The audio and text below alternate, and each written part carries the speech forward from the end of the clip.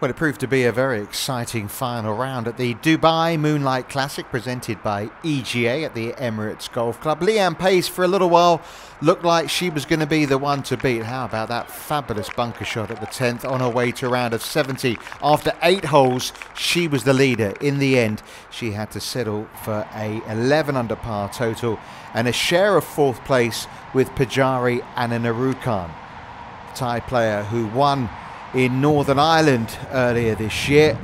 Played some fabulous golf, like that shot at the tough 11th that led to a birdie. Unfortunately for Pajaree, proved to be her last birdie of the day in a round of 69.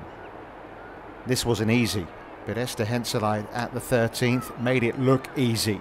And what a last two days from the former Ladies European Tour number one. 66 66 over the last two days to finish in third place at 12 under par. Maria Fassi had led the day had led the way since day one in a 63. She was in a share of the lead going into the final round. And over the back nine, she was the one to catch. Such a brilliant ball striker. You could hear the shouts of wow from the spectators on the tee. It really was a fantastic strike. Didn't lead to an eagle too though at the drivable par four and in the end a 68 meant she finished just one shot shy of her first win on a professional tour because Bronte Law came through the pack with some amazing golf. Look at this at the par 5 16th. She was already six under par for her round. And that set her up for an eagle three, which she would make to get to 15 under par. That 16th was her penultimate hole in this shotgun start. She'd finish at the 17th, where she played an amazing tee shot. She had this for another birdie, a course record equaling 63.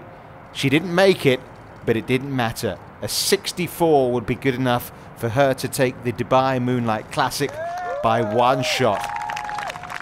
An amazing performance from the 26 year old from England, who over the last couple of years had had her struggles.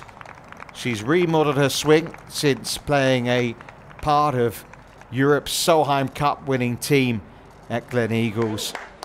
And she has her hands on her first Ladies European Tour trophy to go with the one she's won on the LPGA Tour.